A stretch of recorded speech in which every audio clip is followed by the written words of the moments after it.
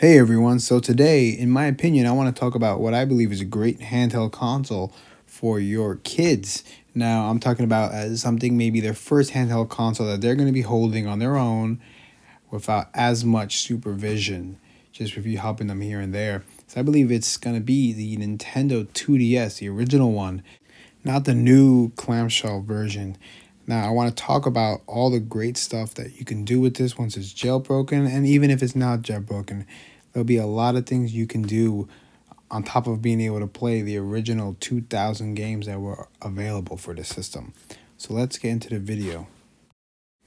Oh, and as well, please leave a like and subscribe to the channel for more videos like this, and let me know if there's anything else anyone would like to see. All right, everyone. So the console I want to talk about is the 2DS. Now, this is personally what I think is a very good starting console for anybody who has, you know, young children, uh, kids, anybody like, you know, five up, roughly four, maybe if you're pushing a little bit there. But I think this is a very good console to start out with. This is a console that already has an established base. So you have thousands of games that you can go off of there are literally, I think, over 2,000 games that have been made between the DS and the 3DS that you can play with this. So the 2DS here is based off of the original 3DS hardware.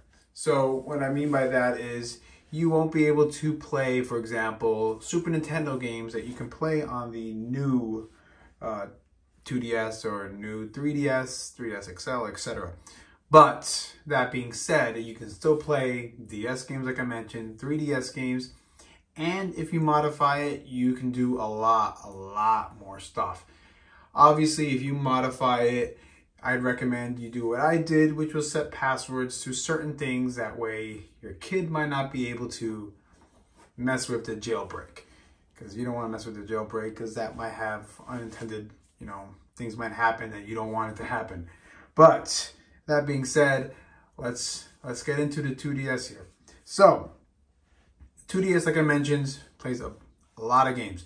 So right off the bat, you can put in DS games and 3DS games, just like the original 3DS and the new 3DS XLs family there. You can do all that stuff. The game I have here was Pokemon Dash. My kid liked this game. I picked up another DS game for him as well, which was Super Mario I think Super Mario 64, and uh, I think Dora the Explorer learning game. So there are a lot of learning games for the DS and the 2DS. So that is a big plus in my opinion. Unlike other consoles, like uh, for example the PSP or even the Vita, you know, the Game Boy Advance has some stuff too, but not as much as the 2DS. This is something good. Nintendo is really big on family friendly content and they have a lot of stuff to back it. So yeah, it's it's definitely good in, in those terms. So what I want to do is I just want to show you more what you can do when it's when it's not modified. So I'll show you just the basic stuff and then I'll get into what you can do beyond when you have a modified 2DS. So let's get into it. All right, so now looking a little bit closer at the 2DS. As you can tell, this is not like the 3DS very, obviously it is a single panel, including the glass. I mean, sorry, the glass, the screen. So if something was, for example, to happen to this screen, the bottom or the top, they would both have to be replaced, which might be hard to do since this is currently discontinued. Now, the 2DS here, since it's a single panel like this, I personally think it is better since the kids cannot break the hinges. Now I would I used to see that a lot where people just had broken hinges.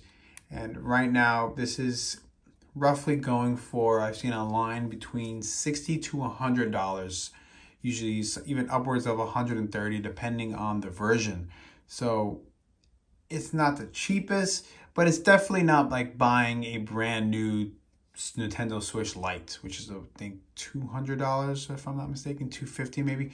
So it's it's definitely not on that level. Now, as you can, as I mentioned before, you can go into the network, the 3DS network, and download games there just like you would normally. You can purchase all these games, no problem. That isn't an issue. Just like you would with the 3DS. So all these family-friendly games you can get right there.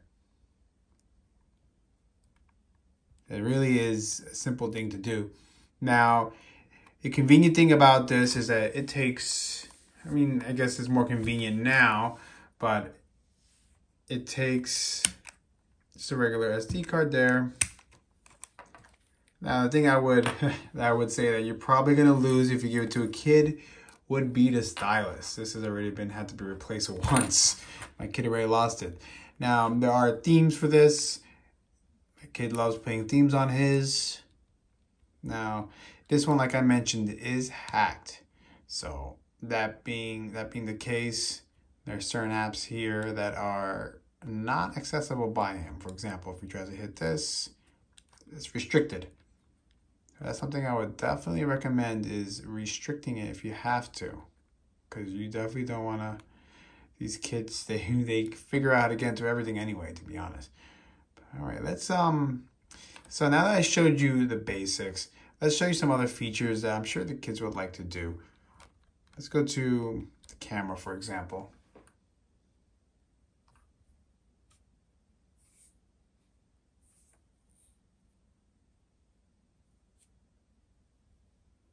Now the camera is fairly simple. It's nothing, nothing crazy. Not the craziest thing in the world. Now, I think it has two, so I think technically you can take those 3D pictures. Not that it really matters since you're not using you know, the 3D function here. Let's go back. You know, the stylus is a cool little part too. Let's see what else you can do. Let's go to the app section. Here you have more stuff that's already built in and free. This is the AR game. So I guess this is where you can use the two cameras in the back. The shooter, the face shooter. The me was at the, the, the, the street plaza. All right. So this is, that's just the basic stuff that comes with it. The gameplay, if you've ever seen a 3DS, it plays exactly the same. So you know what, let's see what else we have here that would be good to play. Let's do Smash Brothers. It's a very simple game in terms of it's uh, pretty difficult, so should play pretty good. Let's see how it looks.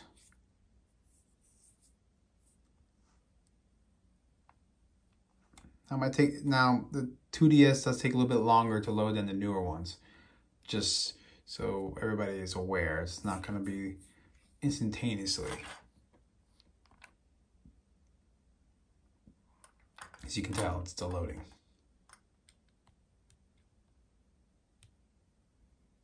We go. Now it's going. So the Super Smash Bros. It's a pretty intense game to play on, on, on this console. It'll run a little slower on the original 3DS, just like it would here. All right, here we go. Let's do a quick Let's do a quick fight. All right, hit start. Just do, let's just do random.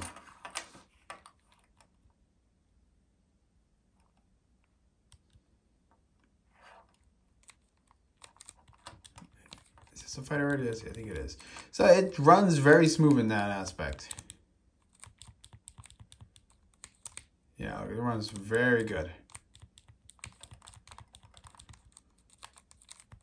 So this is, even though they're no longer really, they're still, I think they're still supporting to a certain level because the Switch is already out. It's not as getting as much support as it used to. It's I still like the 3DS and the 3DS family. Still a very good console. And sometimes you can't take away from the fact that it is more portable than even the Switch Lite especially the ones you can just fold up. But it is definitely, I definitely recommend this for kids. Just for that factor I mentioned before that kids could just break it. Literally just snap it if they, with the clamshell design. You know, obviously now the screens are less protected. There are things you can do to protect it. So for example, this one has a tempered glass front type of top screen and has a regular screen protector for the bottom. That way it's protected. And And it does come in handy because I had to replace the bottom screen protector already. Because kids will be kids and destroy everything they can get their hands on. Oh no. There we go. All right. I like Captain Falcon. It's probably one of my favorite characters to play with. Yeah, this is just how it looks. This is how the a 3DS game would look. Obviously, there's no 2DS. I mean, sorry, no 3D effect or anything that you would see here because they removed it. That's how they saved money doing it. Now, the new 2DS is still very good. I'd, I'd recommend that. Maybe not so much for kids, but for anybody else, it is a pretty, pretty good thing to play with. Last second, I got them. All right, so now let's talk about what you can do when it is jailbroken. All right, let's close it out. Okay, so since it's jailbroken, there are ways you can copy the cards and just save it onto the memory card specifically. Now that I can talk about that a little bit more later on. There are certain things you can do. Uh, what else is there? There's also three, no, sorry, DS emulators that where you where if you got like the ROM from here, you can just take the ROM and put it in 3D, 3 is a DS emulator. So let's go here. So this is going to be the, it's called Twilight. This is the best way to play DS off of the off of the memory cards. Now, you can have what's called R4 carts. There, or there's another one that you can use too that will also pretty much do the same thing.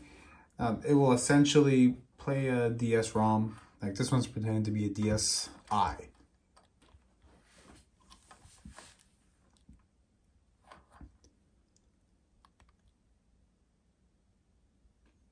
And I'll just do a quick run, run through. I already have Mario 64, so let's just do that. Okay, let's see what we have here.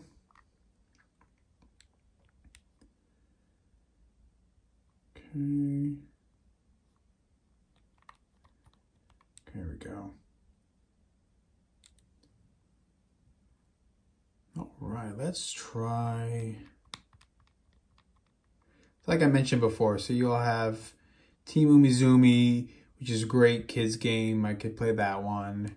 The Dora Big Birthdays, good for kids. There's a lot of good stuff here for kids. Sesame Street, the Backyardigans. There's a lot of stuff here you can use for your kids. And I'd recommend doing it. Even if you wanted to just order the the original games off of eBay and just have them lying around, that works too. There's just so many kid games for for the DS and 3DS family. Just, just a quick gameplay. Let's just do this one first. See, it'll run like it'll run with no problem.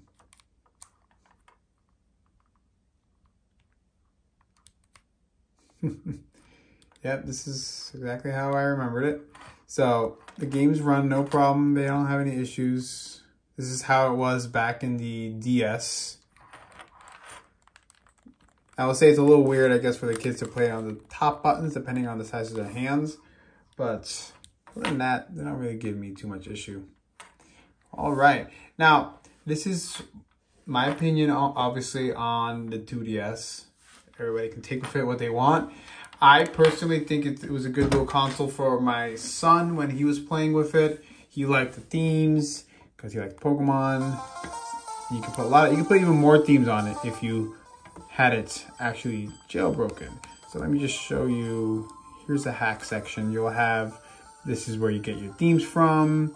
This is where you would you would install the games that you copied from your memory from the cart itself. And this is a Luma hack. So there was a lot of things you could do. Checkpoint is a save file. So you can save the files offline or whatever you want to do with it. So everyone, thank you for watching. Please like and subscribe to the channel. It helps out a lot. Oh, it's right. I'm sorry. One more thing. You can also put Game Boy Advance games here as well. I'm sorry. I should have mentioned that before. So Game Boy Advance games you can put here For example, Pokemon Crystal is Game Boy Color games. It can play that. It can play Game Boy Advance games like Pokemon Fire Red or original Game Boy Color games. Let's just do that one real quick.